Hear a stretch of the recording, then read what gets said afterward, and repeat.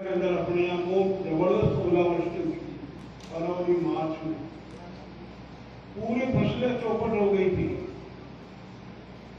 और तब राजस्थान का पूरे और उन्नीस सांसद वहाँ प्रधानमंत्री से मिलने गए और उनको ये बताया तो उन्होंने कहा क्या क्या दिक्कत है? तो एक तो कहा कोई खराबा जब पचास प्रतिशत होता है, तभी मुआवजा मिलता पचास प्रतिशत से कम पे नहीं और दूसरा मुआवजे की राशि भी बहुत कम है। तो उन्होंने तय किया कि भाई खराबा तैतीस प्रतिशत हो तो भी मुआवजा मिलेगा और राशि जो मिलती थी उसको डेढ़ गुना कर दी। उसका परिणाम अपने ज़िले में निकला।